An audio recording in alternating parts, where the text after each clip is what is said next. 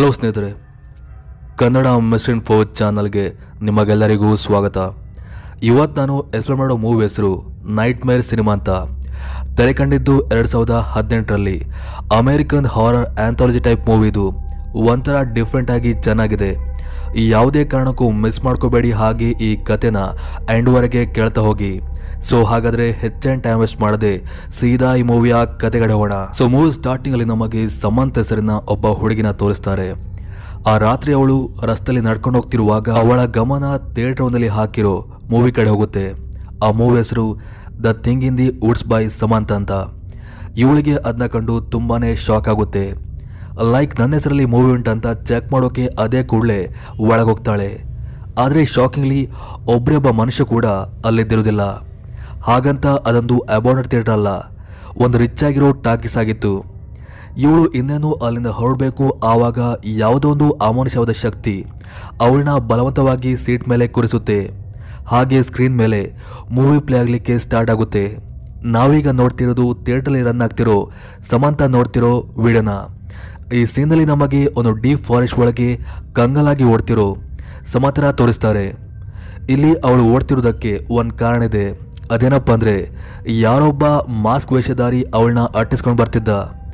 ಅನಿವೆ ಹೀಗೆ ಓಡ್ತಿದ್ದ ಸಮಂತಳ ಕಾಲಿಗೆ ಮುಂದೆ ಒಂದು ಕಡೆ ಏನೋ ಅಡ್ಡ ಸಿಕ್ಕಿ ಅವಳಲ್ಲೇ ಬಿದ್ದುಬಿಡ್ತಾಳೆ. ನೋಡಿದರೆ ಅದೊಂದು ಡೆಡ್ ಬಾಡಿ ಆಗಿತ್ತು. ಅದನ್ನ ಕಂಡು ಅವಳು ಹೆದರಿ ದಿಗ್ಲಾಗಿ ಹೋಗ್ತಾಳೆ. ಯಾಕಂದರೆ ಆ ಡೆಡ್ ಬಾಡಿ ಆ ರೀತಿ ಇತ್ತು. ಲೈಕ್ ಅದರ ಎಲ್ಲ ಪಾರ್ಟ್ಸ್ ಕಿತ್ತು ಚೆಲ್ಲಾಪಿಲ್ಲಿ ಆಗಿದ್ದವು ಎನಿವೆ ಆವತ್ತಿಗಲ್ಲಿ ವೆಪನ್ ಇಟ್ಕೊಂಡು ಅದೇ ಕಿಲ್ಲರ್ ಬರ್ತಾನೆ.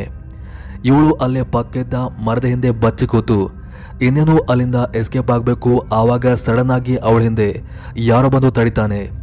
ನೋಡಿದರೆ ಅದು ಅವಳದೇ ಫ್ರೆಂಡ್ ಆಗಿದ್ದ. ಅವನ ಹೆಸರು ಗಿಲ್ಬರ್ಟ್ ಅಂತ. ಅವನು ಅವಳನ್ನ ಆ ಕಿಲ್ಲರಿಂದ ಬಚಾವ್ ಮಾಡಿಸಿ ಕೊನೆಗೂ ಅವರಿಬ್ಬರು ಸೇಫ್ ಆಗಿ ಹೆದ್ದಾರಿವರೆಗೆ ಬರ್ತಾರೆ. ಆದರೆ ಆ ಹೊತ್ತಿಗಾಗಲೇ ಕತ್ತಲಾಗಿ ಹೋಗಿತ್ತು. ಅವರ ಪುಣ್ಯಕ್ಕೆ ಆ ಹೊತ್ತಿಗಲ್ಲಿ ಕಾರ್ ಮೂಲಕ ಒಬ್ಬ ಪೊಲೀಸ್ ಬರ್ತಾನೆ. ನೋಡಿದರೆ ಅವನು ಅವರ ಫ್ರೆಂಡೇ ಆಗಿದ್ದ.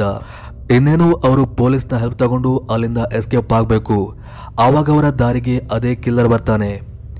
ಪೊಲೀಸ್ ತನ್ನಲ್ಲಿದ್ದ ಗನ್ ಮೂಲಕ ಅವನಿಗೆ ಶೂಟ್ ಮಾಡಿ, ನಂತರ ಹೋಗಿ ಅವನ ಮಾಸ್ಕ್ ತೆಗಿತಾನೆ. ಅಲ್ಲಿ ಕಿಲ್ಲರ್ ಮುಖ ಕಂಡು ಅವನಿಗೆ ತುಂಬಾ ಶಾಕ್ ಆಗುತ್ತೆ.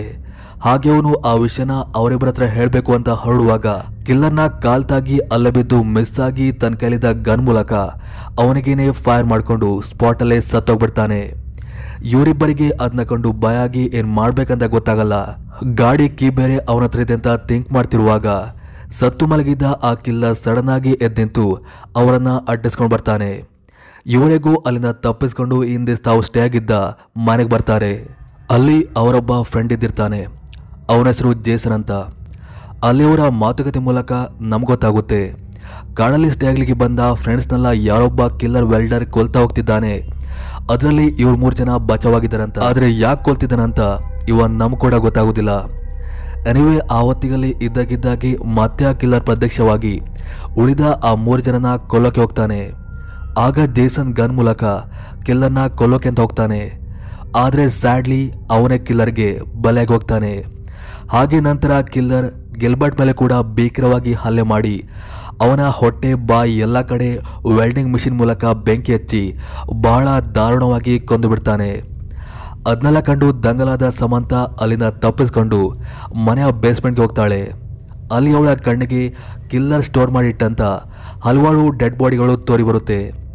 ಅವಳಿಗೆ ಗೊತ್ತಾಗ್ಬಿಡುತ್ತೆ, ಹೀಗೆ ಓಡಿದ್ರೆ ಯೂಸ್ ಇಲ್ಲ ಕಿಲ್ಲನನ್ನ ಕೊಲ್ತೆ ಅಂತ ಒಂದು ವೆಪನ್ ಇಟ್ಕೊಂಡು ಅವನೊಟ್ಟಿಗೆ ಜಗಳಕ್ಕಿಳಿದು ಕೊನೆಗೂ ಅವನ ಮಾಸ್ಕ್ ತೆಗಿತಾಳೆ. ಇಲ್ಲಿ ಕೊನೆಗೂ ನಮಗೆಲ್ಲ ಆ ಕಿಲ್ಲರ್ ಯಾರಂತ ಗೊತ್ತಾಗುತ್ತೆ? ಅವನ ಆ್ಯಕ್ಚುಲಿ ಬೇರೆ ಯಾರೂ ಅಲ್ಲ. ಅವಳ ಚೈಲ್ಡ್ಹುಡ್ ಫ್ರೆಂಡ್ ಆಗಿದ್ದ. ಅವನ ಹೆಸರು ಫ್ರೆಡ್ ಅಂತ. ಆ್ಯಂಡ್ ಇಲ್ಲಿಂದ ಫ್ರೆಡ್ ಯಾಕೆಲ್ಲರನ್ನ ಕೊಲ್ತಾ ಬಂದೆ ಎಂಬುದಕ್ಕೆ ಕಾರಣ ಹೇಳ್ತಾ ಹೋಗ್ತಾನೆ. ಸುಮಾರು ದಿನಗಳ ಹಿಂದೆ ಸಮಂತ ಫ್ರೆಡ್ ಆಗಿ ಅವನ ಗೆಳೆಯರೆಲ್ಲ ರಜೆಗಂತ ಈ ಕಾಡೊಳಗೆ ಬಂದಿದ್ದ ಆಗಲ್ಲಿ ಆಕಾಶದಿಂದ ಯಾವುದೊಂದು ವಸ್ತು ಕೆಳಗೆ ಬೀಳುತ್ತೆ. ಇವರೆಲ್ಲ ಚೆಕ್ ಮಾಡೋಕಂತ ಹೋಗ್ತಾರೆ. ಫ್ರೆಡ್ ಬೇಡ ಅಲ್ಲೋಗುದಂತ ಎಷ್ಟೇ ಬಡ್ಕೊಂಡ್ರು ಕೂಡ ಗೆಲ್ಬಟ್ ಹೋಗಿ ಅದನ್ನ ಟಚ್ ಮಾಡಿಬಿಡ್ತಾನೆ. ಆವಾಗ ಅಲ್ಲಿದ್ದ ಸ್ಪೈಡರ್ ತರಿರೋ ಯಾವುದೋ ಕೀಟ ಹೊರ ಬಂದು ಅಲ್ಲಿದ್ದ ಎಲ್ಲರ ಬಾಯಿ ಮೂಲಕ ಸೇರಿ ಅವರನ್ನು ಇನ್ಫೆಕ್ಟ್ ಮಾಡಿಬಿಡುತ್ತೆ. ಆದರೆ ಫ್ರೆಡ್ ಒಬ್ಬರನ್ನು ಬಿಟ್ಟು. ಸೊ ಈ ಇನ್ಫೆಕ್ಟ್ ಆದ ತನ್ನ ಎಲ್ಲ ಫ್ರೆಂಡ್ಸ್ ಮುಂದೆ ಜನರಿಗೆ ಮಾರಕಾಗಬಹುದೆಂಬ ಒಂದೇ ಕಾರಣಕ್ಕೆ ಅವರನ್ನೆಲ್ಲ ಕೊಲ್ತಾ ಬಂದಿದ್ವು ಅಂತ ಹೇಳ್ತಾ ಅವನು ಮಾತು ತಿಳಿಸ್ತಾನೆ.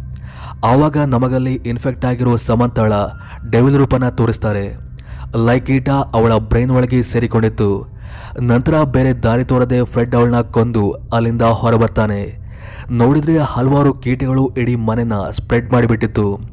ಸೀನ್ ಚೇಂಜ್ ಆದಾಗ ಇನ್ಫೆಕ್ಟ್ ಆದ ಫ್ರೆಡ್ ಕಾರ್ ಮೂಲಕ ಸಿಟಿ ಒಳಗೆ ಎಂಟಾಗ್ತಿರೋದನ್ನ ತೋರಿಸ್ತಾ ಅಲ್ಲಿಗೆ ಆ ಕಥೆನ ಎಂಡ್ ಮಾಡಿಬಿಡ್ತಾರೆ. ಇದು ಸಮಂತ ಟ್ಯಾಕಿಸಲ್ಲಿ ಕಂಡಂಥ ಮೂವಿ ಆಮೇಲೆ ಅವಳಿಗೆ ಏನಾಯ್ತು ಎಂಬುದನ್ನು ತೋರಿಸದೆ ಆ ಥಿಯೇಟರ್ ಎಂಟಾದ ಮತ್ತೊಬ್ಬ ಕಪಲ್ನ ತೋರಿಸ್ತಾರೆ. ಅವರ ಹೆಸರು ಡೇವಿಡ್ ಹಾಗೆ ಆ್ಯನ್ ಅಂತ. ಆ್ಯಂಡ್ ಇಲ್ಲಿಂದ ಥಿಯೇಟ್ರಲ್ಲಿ ಪ್ಲೇ ಆಗ್ತಿರೋ ಡೇವಿಡ್ ಹಾಗೆ ಆ್ಯನ್ ಇರೋ ಎರಡನೇ ಕಥೆನ ತೋರಿಸ್ತಾ ಹೋಗ್ತಾರೆ. ಡೇವಿಡ್ ಹಾಗೆ ಆ್ಯನ್ ಇಬ್ಬರು ಹ್ಯಾಪಿ ಕಪಲ್ಸ್ ಆಗಿದ್ರು. ಹಾಗೆ ಇನ್ನೇನು ಕೆಲವೇ ದಿನಗಳಲ್ಲಿ ಮದುವೆ ಆಗೋ ಪ್ಲ್ಯಾನಲ್ಲಿದ್ದರೂ ಕೂಡ. ಆದರೆ ಆನಾಗೆ ಮಾತ್ರ ಒಂದು ವಿಷಯ ಬಹಳ ಕಾಡ್ತಿತ್ತು. ಅದು ಅವಳ ಮುಖದ ಮೇಲೆ ಆಕ್ಸಿಡೆಂಟ್ ಕಾರಣದಿಂದ ಆಗಿರೋ ಮಾಸ್ಕ್ಗಳು. ಅದರಿಂದ ಹೇಗಾದ್ರೂ ಮುಕ್ತಿಯಾಗಿ, ಸುಂದರವಾಗಿ ಕಾಣಬೇಕಂತ ಅವಳಿಗೆ ತುಂಬಾ ಆಸೆ ಇತ್ತು. ಆವಾಗ ಡೇವಿಡ್ ಅವಳಿಗೆ ಪ್ಲಾಸ್ಟಿಕ್ ಸರ್ಜರಿಯ ಒಂದು ಐಡಿಯಾ ಕೊಡ್ತಾನೆ. ಇವ ನನ್ನ ತಾಯಿ ಕೂಡ ಸರ್ಜರಿ ಆಗಿದೆ. ಅವರಿಗೆ ಸರ್ಜರಿ ಮಾಡಿದ ಡಾಕ್ಟರ್ ಹತ್ರನೇ ತೋರಿಸುವಂತ, ಅದೇ ಕೂಡಲೇ ಅವರ ಹತ್ತಿರ ಕರ್ಕೊಂಡು ಹೋಗ್ತಾನೆ. ಅಲ್ಲಿ ಡಾಕ್ಟರ್ ನೈಂಟಿ ಪರ್ಸೆಂಟ್ ವರೆಗೆ ಈ ಕಲೆಗಳನ್ನ ರಿಮೂವ್ ಮಾಡ್ಬೋದೆಂಬ ನಂಬಿಕೆ ಕೊಟ್ಟು ಅದನ್ನ ನೆಕ್ಸ್ಟ್ ಡೇನೇ ಸರ್ಜರಿ ಮಾಡಿ ಮುಗಿಸ್ತಾರೆ. ಆ ರಾತ್ರಿ ಆನಾಗೆ ತನ್ನ ನೋಡ್ಬೇಕಂತ ತುಂಬಾ ಕ್ಯೂರಿಯಸ್ ಆಗಿ ನರ್ಸ್ ಹತ್ತಿರ ಪರ್ಮಿಷನ್ ಕೇಳ್ತಾಳೆ. ಆದರೆ ನರ್ಸ್ ಮಾತ್ರ ಪರ್ಮಿಷನ್ ಕೊಡೋದಿಲ್ಲ. ಬಟ್ ಇವಳು ಮಾತ್ರ ಹಠ ಬಿಡದೆ ಯಾರಿಗೂ ಗೊತ್ತಾಗ್ದಿರೋ ಹಾಗೆ ಬೆಡ್ಡಿಂದ ಹೊರಗೆ ಬರ್ತಾಳೆ. ಆವಾಗ ಅಲ್ಲಿ ರೂಮಿಂದ ಅವಳಿಗೆ ಯಾರೋ ನಡ್ತಿರೋ ಹಾಗೆ ಶಬ್ದ ಕೇಳಿ ಬಂದು ಒಳಗೋಗಿ ಚೆಕ್ ಮಾಡ್ತಾಳೆ.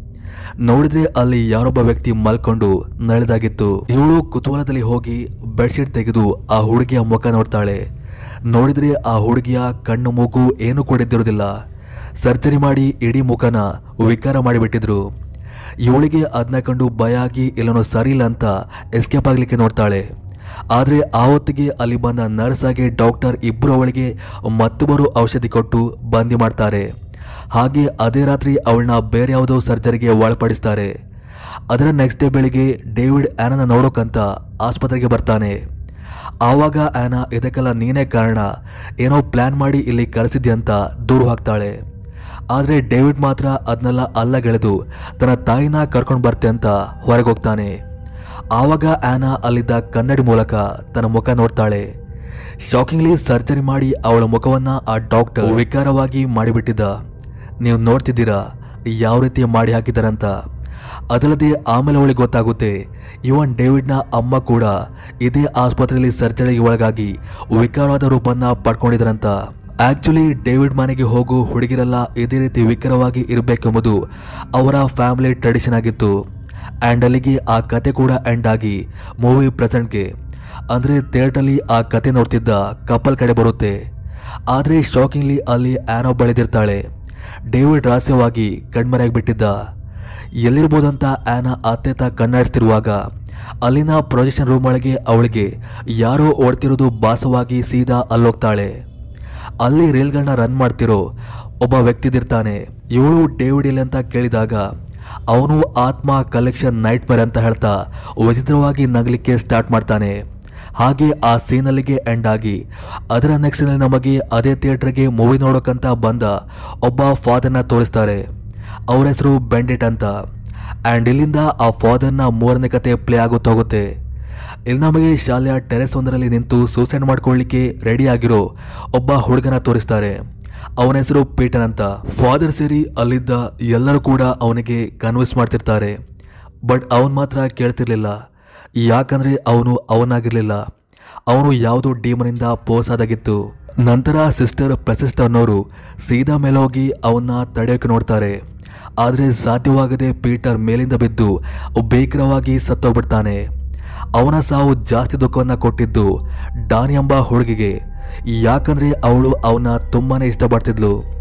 ಆವಾಗಲ್ಲಿ ಡ್ಯಾನಿಯ ಅಮ್ಮ ಬಂದು ಅವಳಿಗೆ ಸಮಾಧಾನ ಮಾಡಿ ಕರ್ಕೊಂಡು ಹೋಗ್ತಾಳೆ ಅನಿವೇ ಆ ದಿನ ರಾತ್ರಿ ತನ್ನ ಕೆಲಸದಲ್ಲಿ ಬ್ಯುಸಿಯಾಗಿದ್ದ ಸಿಂಡಿಗೆ, ಅಂದರೆ ಡ್ಯಾನಿಯ ತಾಯಿಗೆ ಯಾವುದೋ ಒಂದು ಅಮಾನುಷ ಶಕ್ತಿ ತನ್ನನ್ನು ಹಾದು ಹೋದಾಗೆ ಅವಳಿಗೆ ಫೀಲ್ ಆಗುತ್ತೆ.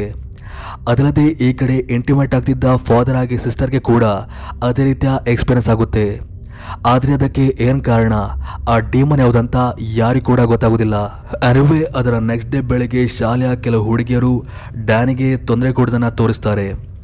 ಲೈಕ್ ಅವರೆಲ್ಲ ಡ್ಯಾನಿಗೆ ಪೀಟರ್ ವಿಷಯ ತೆಗೆದು ಟೀಸ್ ಮಾಡ್ತಿರ್ತಾರೆ. ಅದರಿಂದ ಕೋಪಗೊಂಡ ಡ್ಯಾನಿ ಆ ಹುಡುಗಿನ ತಳ್ಳಿ ಬಿಡ್ತಾಳೆ. ಅದರಿಂದ ಆ ಹುಡುಗಿಯ ನಾಲಿಗೆ ಕಟ್ಟಾಗಿ ಬಿಡುತ್ತೆ. ಅದಲ್ಲದೆ ಡ್ಯಾನ್ ಹಿಂದೆ ಯಾವುದೋ ಒಂದು ಎತ್ತರದ ರೆಡ್ಡಿಮ ನಿಂತಿರೋದು ಆ ಹುಡುಗಿ ಮಾತ್ರ ಅಲ್ಲ, ನೋಡ್ತಿರೋ ನಮ್ ಕೂಡ ತೋರಿ ಬರುತ್ತೆ. ಸೀರಿಯಸ್ಲಿ ಭಯಾನಕವಾದ ಡಿಮನ್ ಅಂತ ಹೇಳ್ಬೋದು. ಅನಿವೇ ಈ ಕಡೆ ಆಗ್ತಿರೋ ಘಟನೆಲ್ಲ ಗಮನಿಸಿದ್ದ ಸಿಸ್ಟರ್ಗೆ ಎಲ್ಲೋ ಒಂದು ಕಡೆ ಡೌಟ್ ಬರುತ್ತೆ. ಯಾವುದೋ ಡೀಮನ್ ಮಕ್ಕಳನ್ನ ಟಾರ್ಗೆಟ್ ಮಾಡ್ತಿದೆ ಅಂತ. ಸೊ ಅವಳು ಮಕ್ಕಳನ್ನ ಟಾರ್ಗೆಟ್ ಮಾಡುವ ಡೀಮನ್ ಯಾವುದಿದೆ ಅಂತ ಕೆಲವೊಂದು ಬುಕ್ ಮೂಲಕ ತಿಳ್ಕೊಳ್ಳೋಕೆ ಹೋದಾಗ ಅಲ್ಲಿ ಅವಳಿಗೆ ಕೊನೆಗೂ ಆ ಡೀಮನ್ ಯಾವುದಂತ ಗೊತ್ತಾಗುತ್ತೆ. ಅಂದಾಗೆ ಆ ಡೀಮನ್ ಹೆಸರು ಮಾಶಿಟ್ ಅಂತ. ಹಾಗೆ ಅವಳು ಆ ವಿಷಯನ ಆ ಹೊತ್ತಿಗೆ ಅಲ್ಲಿ ಬಂದ ಫಾದರ್ಗೆ ಕೂಡ ಹೇಳ್ತಾಳೆ. ಆದರೆ ಆ ಡೀಮನಿಂದ ಪೋಸ್ ಆಗಿರೋ ವಿದ್ಯಾರ್ಥಿ ಯಾರಿರ್ಬೋದಂತ ಥಿಂಕ್ ಮಾಡ್ತಿರುವಾಗ, ಆಗಲ್ಲಿ ಪೀಟನ್ನ ಆತ್ಮ ಪ್ರತ್ಯಕ್ಷವಾಗಿ ಅವರಿಗೆ ಒಂದು ಕ್ಲೂ ಕೊಡುತ್ತೆ. ಲೈಕ್ ಒಬ್ಬ ಹುಡುಗಿ ಪೋಸ್ ಆಗಿದ್ದಾಳಂತ. ಹುಡುಗಿ ಅಂದ್ಕೂಡಲೇ ಅವರ ತಲೆಗೆ ಬಂದಿದ್ದೆ ಡಾನಿ. ಸೊ, ಅವರು ಅದೇ ಕೂಡಲೇ ಡಾನಿನ ಕರ್ಕೊಂಡು ಬಂದು ಎಕ್ಸೋರಿಸಮ್ ಮಾಡೋಕ್ಕೆ ಮುಂದಾಗ್ತಾರೆ. ಆದರೆ ನಿಜವಾಗ್ಲೂ ಪೋಸ್ ಆಗಿರೋದು ಅವಳಲ್ಲ, ಡಾನಿ ಅಮ್ಮ ಸಿಂಡಿ ಎನಿವೆ ನಂತರ ಸಿಂಡಿ ಅಲ್ಲಿದ್ದ ಡಾನಿ ಸೇರಿ ಎಲ್ಲ ಮಕ್ಕಳನ್ನ ಪೋಸ್ ಮಾಡಿ ತನ್ನ ಕಂಟ್ರೋಲ್ಗೆ ತಗೊಂಡು ಸಿಸ್ಟರ್ ಆಗಿ ಫಾದರ್ನ ಕಲೋಕೆ ದಾಳವಾಗಿ ಬಿಡ್ತಾಳೆ. ಆದರೆ ಅವರಿಬ್ಬರು ಹೇಗೋ ಪಾರಾಗಿ ವೆಪನ್ ಮೂಲಕ ಪೋಸಾದ ಎಲ್ಲ ಮಕ್ಕಳನ್ನ ಕೊಲ್ತಾ ಬರ್ತಾರೆ. ಆದರೆ ಸ್ಯಾಡ್ಲಿ ಫಾದರ್ ಕೊನೆಗೆ ಆ ಡೀಮನ್ಗೆ ಬಲೆಯಾಗೋಗ್ತಾನೆ. ಈ ಮಧ್ಯೆ ಸಿಂಡಿ ಟೆರೆಸ್ ಮೇಲೆ ಹೋಗ್ತಿರೋದನ್ನ ಸಿಸ್ಟರ್ ಗಮನಿಸಿ, ಅವಳು ಕೂಡ ಸೀದಾ ಮೇಲೋಗ್ತಾಳೆ ಅಲ್ಲಿ ಆ ಡೀಮನ್ ಸಿಂಡಿ ಒಟ್ಟಿಗೆ ಸಿಸ್ಟರ್ನ ಕೂಡ ಟೆರೆಸ್ ಮೇಲಿಂದ ಕೆಡೆದು ಬಿಡುತ್ತೆ. ಆದರೆ ಸಿಸ್ಟರ್ ಲಕ್ಕಿಲಿ ಅದರಿಂದ ಬಚಾವಾಗಿ ಹೋಗಿದ್ಲು. ಆದರೆ ಆ ಡೀಮನ್ ಏನಿದೆ, ಸಿಂಡಿ ದೇಹನ ಬಿಟ್ಟು ಸಿಸ್ಟರ್ ದೇಹದ ಒಳಗೆ ಸೇರ್ಕೊಂಡ್ಬಿಟ್ಟಿತ್ತು. ಹಾಗೆ ಅಲ್ಲಿಗೆ ಕತೆ ಎಂಡಾಗಿ ಮೂವಿ ಪ್ರೆಸೆಂಟ್ಗೆ ಬರುತ್ತೆ. ಫಾದರ್ಗೆ ಇದೆಲ್ಲ ಏನಂತ ಸೀರಿಯಸ್ಲಿ ಅರ್ಥ ಆಗುದಿಲ್ಲ. ಅವತ್ತಿಗೆ ಅಲ್ಲಿ ಹಿಂದಿಂದ ಬಂದ ಅದೇ ಪ್ರೊಜೆಸ್ಟನಿಸ್ಟ್ ಆ ಫಾದರ್ನ ಭೀಕರವಾಗಿ ಕೊಂದು ಬಿಡ್ತಾನೆ. ಹಾಗೆ ನೆಕ್ಸ್ಟ್ ಅಂದರೆ ನಮಗೆ ನಾಲ್ಕನೇ ಕತೆನ ತೋರಿಸ್ತಾರೆ. ಆ್ಯಂಡ್ ಈ ಸಲ ಮೂವಿ ನೋಡಲಿಕ್ಕೆ ಬಂದಿದ್ದು ಹೆಲನ್ ಹೆಸರಿನ ಒಬ್ಬ ಮಹಿಳೆ. ಇವಾಗಿಂದ ನಾವು ಸ್ಕ್ರೀನಲ್ಲಿ ನೋಡ್ತಿರೋದು ಹೆಲನ್ನ ಕತೆನ ಇಲ್ಲಿ ನಮಗೆ ಹೆಲನ್ ತನ್ನ ಇಬ್ಬರು ಮಕ್ಕಳೊಟ್ಟಿಗೆ ಆಸ್ಪತ್ರೆ ಒಂದಕ್ಕೆ ಹೋಗಿರೋದನ್ನು ತೋರಿಸ್ತಾರೆ. ಆದರೆ ಅಲ್ಲಿನ ರಿಸೆಪ್ಷನಿಸ್ಟ್ ಡಾಕ್ಟರ್ ಸ್ವಲ್ಪ ಬ್ಯುಸಿಯಾಗಿದ್ದಾರೆ. ವೇಟ್ ಮಾಡಿ ಅಂತ ಅವ್ರನ್ನ ಕೂರಿಸ್ತಾಳೆ. ಸರಿ ಅಂತ ಇವರು ಕೂಡ ಸುಮ್ಮನಾಗ್ತಾರೆ ಆದರೆ ಎಷ್ಟೇ ಹೊತ್ತಾದರೂ ಕೂಡ ಯಾವುದೇ ರೆಸ್ಪಾನ್ಸ್ ಬರ್ದಿರೋದನ್ನು ನೋಡಿ ಹೆಲೆನ್ ಮತ್ತೆ ಹೋಗಿ ಕೇಳ್ತಾಳೆ. ಆದರೆ ಅಲ್ಲವಳಿಗೊಂದು ಆಘಾತ ಕಾದಿತ್ತು. ಯಾಕಂದರೆ ಅಲ್ಲಿರೋ ಆ ಮಹಿಳೆಯ ಲುಕ್ಕೇ ಚೇಂಜ್ ಆಗಿಬಿಟ್ಟಿತ್ತು. ಲೈಕ್ ಅವಳ ಮುಖ ಮೈಯೆಲ್ಲ ಸುಕ್ಕಾಗಿ ಹೋಗಿತ್ತು ಇವಳಿಗೆ ಸ್ವಲ್ಪ ಕನ್ಫ್ಯೂಸ್ ಆದರೂ ಕೂಡ ಕ್ವಶನ್ ಮಾಡದೆ ಸುಮ್ಮನಾಗ್ತಾಳೆ ಎನಿವೆ ಅದಾದ ಸ್ವಲ್ಪ ಹೊತ್ತಿನ ನಂತರ ಕೊನೆಗೂ ಹೆಲನ್ ಡಾಕ್ಟರ್ನ ಹೋಗಿ ಮೀಟ್ ಆಗಿ ತನ್ನ ಸಮಸ್ಯೆ ಹೇಳ್ಕೊತಾಳೆ ಆ ಸಮಸ್ಯೆ ಏನಪ್ಪ ಅಂದರೆ, ಅವಳ ಕಣ್ಣಿಗೆ ಆತ್ಮಗಳು ಕಾಣುತ್ತೆ ಅಂತ. ಡಾಕ್ಟರ್ಗೆ ಸ್ವಲ್ಪ ಸ್ಟ್ರೇಂಜ್ ಅಂತ ಎಣಿಸಿ, ನಾಳೆ ಬಂದು ಮೀಟ್ ಆಗಿ ಅಂತ ಅವಳನ್ನ ವಾಪಸ್ ಕಳಿಸ್ತಾನೆ. ಆದರೆ ಅಲ್ಲಿಂದ ಹೊರಬಂದ ಹೆಲನ್ಗೆ ಹೊರಗಿನ ವಾತಾವರಣ ಕಂಡು ಶಾಕ್ ಆಗುತ್ತೆ. ಯಾಕಂದರೆ ಅದೊಂದು ಅಬೋನರ್ ಬಿಲ್ಡಿಂಗ್ ಆಗಿ ಕನ್ವರ್ಟ್ ಆಗಿತ್ತು. ಅದಲ್ಲದೆ ಅವಳ ಮಕ್ಕಳು ಕೂಡ ನಾಪತ್ತೆಯಾಗಿ ಬಿಟ್ಟಿದ್ರು ಎಷ್ಟೇ ಹುಡುಕಿದ್ರು ಅವರ ಪತ್ತೆನೇ ಇರುವುದಿಲ್ಲ ಈ ಮಧ್ಯೆ ಅವಳ ಭೇಟಿ ಲಿಫ್ಟ್ ಹತ್ತಿರ. ಅದೇ ಹುಡುಗಿ ಒಟ್ಟಿಗೆ ಆಗುತ್ತೆ ಆದರೆ ಶಾಕಿಂಗ್ಲಿ ಅವಳನ್ನು ಡೀಮನ್ ಆಗಿ ಬದಲಾಗಿ ಬಿಟ್ಟಿದ್ಲು. ಅದೇ ರೀತಿ ಅವಳಿಗೆ ಅಲ್ಲಿನ ಬಾತ್ರೂಮಲ್ಲಿ ಹಲವು ವ್ಯಕ್ತಿಗಳು ಕೂಡ ತೋರಿ ಬರ್ತಾರೆ. ಆದರೆ ಅವರೆಲ್ಲ ಭೂತಗಳಾಗಿದ್ರು. ಇವಳಿಗೆ ಸೀರಿಯಸ್ಲಿ ಏನಾಗ್ತಿದೆ ಅಂತ ಗೊತ್ತಾಗಲ್ಲ. ಮಕ್ಕಳು ಬೇರೆ ಕಾಣ್ತಿಲ್ಲ ಅಂತ ಗೊತ್ತಾಗದೆ ಅದೇ ಕೂಡಲೇ ತನ್ನ ಗಂಡನಿಗೆ ಕಾಲ್ ಮಾಡಿ ವಿಷಯ ಹೇಳ್ತಾಳೆ. ಅಲ್ಲಿ ಅವನಿಂದ ಒಂದು ಆಘಾತಕಾರಿಯಾದ ವಿಷಯ ಗೊತ್ತಾಗುತ್ತೆ. ಅದೇನಪ್ಪ ಅಂದರೆ, ಅವಳಿಗೆ ಯಾವುದೇ ಮಕ್ಕಳಿಲ್ಲ ಎಂಬುದು ಬಟ್ ಹೆಲನ್ ಮಾತ್ರ ಅದನ್ನ ನಂಬದೆ ಅಲ್ಲಿಂದ ಹೊರಡೋಕ್ಕೆ ಮುಂದಾಗ್ತಾಳೆ. ಆವಾಗಲಿನ ಡೋರ್ ಹತ್ತಿರ ಡಾಕ್ಟರ್ ಆಗಿ ಅವಳ ಮಕ್ಕಳು ನಿಂತು ಮಾತಾಡ್ತಿರ್ತಾರೆ. ಲೈಕ್ ಹೆಲನ್ಗಿರೋ ಕಾಯಿಲೆ ಕಾರಣವೇ ಹೀಗೆಲ್ಲ ಆಗ್ತಿರೋದು. ಇದಕ್ಕೆಲ್ಲ ಪರಿಹಾರ ಅಂದರೆ ಅದು ಅವಳ ಸಾವು. ಅವಳಗವಳೆ ಅವಳೇ ಆತ್ಮಹತ್ಯೆ ಮಾಡ್ಕೋಬೇಕಂತ. ಇವಳಿಗೆ ಅದನ್ನ ಕೇಳಿ ಶಾಕ್ ಆಗಿ ಸೀದಾ ಹೋಗಿ ಡೋರ್ನ ಓಪನ್ ಮಾಡಿ ಹೊರಗೆ ಹೋಗ್ತಾಳೆ. ಅಲ್ಲಿ ಡಾಕ್ಟರ್ ಆಗಿ ಮಕ್ಕಳೇನಿರುತ್ತಾರೆ ಆದರೆ ನಾರ್ಮಲ್ ಆಗಿಲ್ಲ ದೆವ್ವವಾಗಿ. ಎಸಲಿ ನಿಜವಾಗ್ಲೂ ಹೆಲನ್ನ ಮಕ್ಕಳು ಹಾಗೆ ಅಲ್ಲಿರೋ ಡಾಕ್ಟರ್ ಯಾರು ಕೂಡ ಬದುಕಿಲ್ಲ. ಅದೆಲ್ಲ ಅವಳು ಕಾಣ್ತಿದ್ದ. ಒಂದು ಭ್ರಮೆ ಅಷ್ಟೇ. ಬಟ್ ಹೆಲನ್ ಮಾತ್ರ ಅದನ್ನ ಆಕ್ಸೆಪ್ಟ್ ಮಾಡ್ಕೊಳ್ಳದೆ, ತನ್ನಲ್ಲಿರೋ ಗನ್ ಮೂಲಕ ಆ ಡಾಕ್ಟರ್ನ ಕೊಂದು ಮಕ್ಕಳನ್ನ ಅಲ್ಲಿಂದ ಕರ್ಕೊಂಡು ಹೋಗ್ತಾಳೆ. ಹಾಗೆ ಅಲ್ಲಿಗೆ ಆ ಕತೆ ಕೂಡ ಎಂಡ್ ಆಗಿ ಮೂವಿ ನೋಡ್ತಿರೋ ಹೆಲನ್ನ ತೋರಿಸ್ತಾರೆ.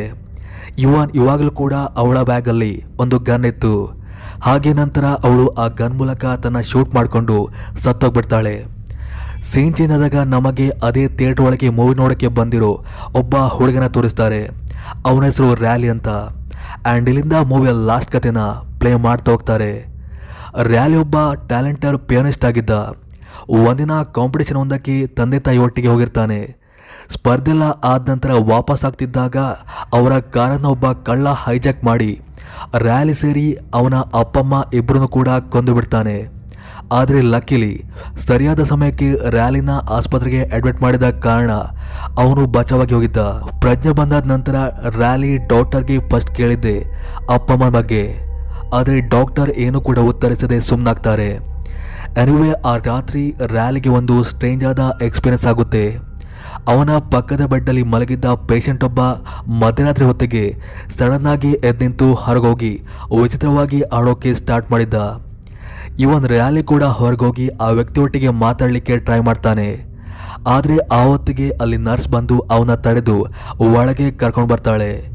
ಶಾಕಿಂಗ್ಲಿ ಅಲ್ಲಿ ಆ ವ್ಯಕ್ತಿ ಬೆಡ್ಡಲ್ಲೇ ಎದ್ದಿರ್ತಾನೆ ಹಾಗಾದ್ರೆ ಆವಾಗ ನೋಡಿದ್ದು ಯಾರಂತ ಅವನಿಗೆ ಗೊತ್ತೇ ಆಗುದಿಲ್ಲ. ಅದೇ ರೀತಿ ಹಲವು ಘಟನೆಗಳು ಅವನಿಗೆ ಆಗ್ತಾ ಹೋಗುತ್ತೆ. ಲೈಕ್ ಅವನಿಗೆ ಅವನ ಅಮ್ಮನ ಆತ್ಮ ಹಾಗೆ ಆಸ್ಪತ್ರೆಯಲ್ಲಿ ಸತ್ತಂಥ ಎಲ್ಲ ವ್ಯಕ್ತಿಗಳ ಆತ್ಮಗಳು ಕಾಣೋಕೆ ಸ್ಟಾರ್ಟ್ ಆಗಿದ್ದವು. ಈ ಮಧ್ಯೆ ಅವನ ಭೇಟಿ ಆಸ್ಪತ್ರೆಯಲ್ಲಿರೋ ಒಬ್ಬ ಹುಡುಗಿ ಒಟ್ಟಿಗೆ ಆಗುತ್ತೆ ಅವಳ ಹೆಸರು ಕೆಜಿ ಅಂತ. ಇವನ್ ಅವಳಿ ಕೂಡ ಅವನ ಥರ ಆತ್ಮಗಳೆಲ್ಲ ಕಾಣಿಸ್ತಿದ್ದವು. ಇದಕ್ಕೆಲ್ಲ ಏನು ಕಾರಣ ಅಂತ ನಮಗೆ ಅವಳ ಮೂಲಕವೇ ಗೊತ್ತಾಗುತ್ತೆ. ರ್ಯಾಲಿನ ಆಸ್ಪತ್ರೆಗೆ ಅಡ್ಮಿಟ್ ಮಾಡಿಸಿದಾಗ ಅವನು ಸ್ವಲ್ಪ ನಿಮಿಷಗಳ ಕಾಲ ಸತ್ತೋಗಿದ್ದ. ಅಂದ್ರೆ ಸಾವು ಮತ್ತು ಬದುಕಿನ ಮಧ್ಯೆ ಇದ್ದ. ಅದಾದ್ಮೇಲೆ ಡಾಕ್ಟರ್ಗಳು ಟ್ರೀಟ್ ಮಾಡಿ ಅವನ್ನ ಬಚಾವ್ ಮಾಡಿದ್ರು. ಸ್ವಲ್ಪ ನಿಮಿಷಗಳ ಕಾಲ ಅವನು ಸತ್ತಿದ್ದ ಕಾರಣ ಅವನಿಗೆ ಆತ್ಮೆಲ್ಲ ತೋರ್ತಿದ್ದವಂತ. ಅಂತ ಆ ಆತ್ಮಗಳೆಲ್ಲ ಅವನನ್ನ ತಮ್ಮೊಟ್ಟಿಗೆ ಕರ್ಕೊಂಡು ಹೋಗ್ಲಿಕ್ಕೆ ಪ್ರಯತ್ನ ಪಡ್ತಿದ್ವು. ಅದರಲ್ಲೂ ಒಂದಿನ ರ್ಯಾಲಿಯ ಅಮ್ಮನ ಆತ್ಮ ಅವನನ್ನ ಸಾಯಿಸಿ ತನ್ನೊಟ್ಟಿಗೆ ಕರ್ಕೊಂಡು ಹೋಗ್ಲಿಕ್ಕೆ ಮುಂದಾಗಿತ್ತು. ಆಗ ಕೇಸಿ ಬಂದು ತಡೆದು ರ್ಯಾಲಿನ ಬಚಾವ್ ಮಾಡಿದ್ಲು. ಆದರೆ ಸ್ಯಾಡ್ಲಿ ತನ್ನ ದಾರಿಗೆ ಅಡ್ಡಲಾಗಿ ಬಂದ್ಲೆಂಬ ಒಂದೇ ಕಾರಣಕ್ಕೆ ಅವಳನ್ನ ರ್ಯಾಲಿಯ ಅಮ್ಮನ ಆತ್ಮ ಭೀಕರವಾಗಿ ಕೊಂದುಬಿಡುತ್ತೆ. ಆ ರಾತ್ರಿ ರ್ಯಾಲಿಯೊಬ್ಬನೇ ಬೆಡ್ಡಲ್ಲಿ ಮಲಗಿದ್ದಾಗ ಅಲ್ಲಿ ಸಡನ್ ಆಗಿ ಬಂದ ಅದೇ ಕಳ್ಳ ರ್ಯಾಲಿಯ ಕತ್ತರಿಸಿಕಿ ಕೊಲ್ಲೋಕೆ ನೋಡ್ತಾನೆ. ಆದರೆ ರ್ಯಾಲಿ ಹೇಗೂ ತಪ್ಪಿಸ್ಕೊಂಡು ಓಡಿ ಹೋಗ್ತಾನಾದರೂ ಸಾಧ್ಯವಾಗದೆ ಮಧ್ಯದಲ್ಲಿ ಮತ್ತೆ ಅವನ ಕೈಯಲ್ಲಿ ಟ್ರ್ಯಾಪ್ ಆಗಿ ಹೋಗ್ತಾನೆ. ಆಗ ರ್ಯಾಲಿಗೆ ತನ್ನ ಅಮ್ಮ ಹಾಗೆ ಕೇಸಿಯ ಆತ್ಮದ ವಿಷನ್ ತೋರಿ ಬರುತ್ತೆ ಅದರಲ್ಲಿ ಅಮ್ಮನಾತ್ಮ ಸತ್ತು ಒಟ್ಟಿಗೆ ಬಾ ಅಂತ ಪುಸಲಾಯಿಸ್ತಿದ್ರೆ ಕ್ಯಾಸಿ ಆತ್ಮ ತಪ್ಪಿಸ್ಕೊಂಡು ಹೋಗುವಂತ ಹೇಳ್ತಿರುತ್ತೆ. ಆವಾಗ ಸಡನ್ ಆಗಿ ಅವನು ವಾಸ್ತವಕ್ಕೆ ಬಂದು ವೆಪನ್ ಮೂಲಕ ಕಳ್ಳನ ಕತ್ತಿಗೆ ಚುಚ್ಚಿ ಕೊಂದು ಬಿಡ್ತಾನೆ. ಹಾಗೆ ಅಲ್ಲಿಗೆ ಕತೆ ಎಂಡಾಗಿ ಪ್ರೆಸೆಂಟ್ಗೆ ಬರುತ್ತೆ. ಆ ಕತೆಲ್ಲ ನೋಡಿ ಕನ್ಫ್ಯೂಸ್ ಆಗಿದ್ದ ರೈಲಿನ ಅದೇ ಪ್ರೊಜೆಕ್ಷನಿಸ್ಟ್ ಬಂದು ಮಾತಾಡಿಸ್ತಾನೆ. ಇರೋ ತರಾನೇ ನೀನು ಕೂಡ ಸತ್ತೋಗ್ತಿ ಅಂತ ಆ ಕಡೆ ಸನ್ನೆ ಮಾಡಿ ತೋರಿಸ್ತಾನೆ. ಅಲ್ಲಿ ಶಾಕಿಂಗ್ಲಿ ಸ್ಟಾರ್ಟಿಂಗಲ್ಲಿ ಈ ಥಿಯೇಟರ್ಗೆ ಮೂವಿ ನೋಡಲಿಕ್ಕೆ ಬಂದಿರೋ ಅಷ್ಟು ಜನರ ಆತ್ಮ ಇದ್ದಿರುತ್ತೆ ರ್ಯಾಲಿ ತನ್ನ ಪ್ರಾಣ ಉಳಿಸ್ಕೊಳ್ಳಲು ಅಲ್ಲಿಂದ ಓಡಿ ಹೋಗಲಿಕ್ಕೆ ಟ್ರೈ ಮಾಡ್ತಾನೆ. ಆದರೆ ಸಾಧ್ಯವಾಗದೆ ಸತ್ತು ಅವನು ಕೂಡ ಆತ್ಮ ಆಗ್ತಾನೆ ಮೂವಿಯ ಲಾಸ್ಟಿನಲ್ಲಿ ಆ ವ್ಯಕ್ತಿ ರ್ಯಾಲಿ ನೇಮಿರು ರೀಲ್ ಬಾಕ್ಸನ್ನು ಸ್ಟೋರ್ ರೂಮಲ್ಲಿ ಇಡುವುದನ್ನ ತೋರಿಸ್ತಾರೆ. ಆದರೆ ಅಲ್ಲಿ ಟ್ವಿಸ್ಟ್ ಏನಪ್ಪ ಅಂದರೆ ಅಲ್ಲಿ ಖಾಲಿ ಒಂದೇ ಬಾಕ್ಸ್ ಅಲ್ಲ. ಹಲವಾರು ನೇಮ್ ಇರೋ ಹಲವಾರು ರೀಲ್ ಬಾಕ್ಸ್ ಇದ್ದಿರುತ್ತೆ. ಹಾಗೆ ಅಲ್ಲಿಗೆ ಆ ಮೂವಿ ಕೂಡ ಎಂಡ್ ಆಗುತ್ತೆ. ನಂಗೊತ್ತು ನಿಮಗೇನು ಅರ್ಥ ಆಗಿಲ್ಲ ಅಂತ ಕತೆನ ಸಿಂಪಲ್ ಆಗಿ ಹೇಳ್ತೇನೆ ಕೇಳಿ. ಅದೊಂದು ಹಾಂಟೆಡ್ ಥಿಯೇಟರ್ ಹಾಗೆ ಅಲ್ಲಿದ್ದ ಆ ವ್ಯಕ್ತಿ ಒಬ್ಬ ದೆವ್ವಾಗಿದ್ದ ಮೂವಿ ನೋಡಲಿಕ್ಕೆ ಬರೋ ವ್ಯಕ್ತಿಗಳಿಗೆ ಯಾವಾಗಲೂ ಕನಸಾಗಿ ಬೆಳೆದಿದ್ದ ಘಟನೆ ಮೂವಿಯಾಗಿ ತೋರಿಸಿ ಲಾಸ್ಟಲ್ಲಿ ಕೊಂದು ಅವರ ಆತ್ಮನ ಕಲೆಕ್ಟ್ ಮಾಡ್ತಿದ್ದ. ಅದೊಂದು ಆತ್ಮಗಳನ್ನ ಕಲೆಕ್ಟ್ ಮಾಡೋ ಥಿಯೇಟರ್ ಇವಾಗ ಅರ್ಥ ಆಯ್ತು ಅಂತ ಅಂದ್ಕೊಳ್ತಾ ಕಥೆನಲ್ಲಿಗೆ ಎಂಡ್ ಮಾಡ್ತೀನಿ. ಸೊ ಇದಿಷ್ಟು ಇವತ್ತಿನ ಕತೆ. ಮತ್ತೊಂದು ಕಥೆಯೊಟ್ಟಿಗೆ ಮತ್ತೆ ಸಿಗ್ತೀನಿ. ಅಲ್ಲಿವರೆಗೂ ಥ್ಯಾಂಕ್ ಯು ಫಾರ್ ವಾಚಿಂಗ್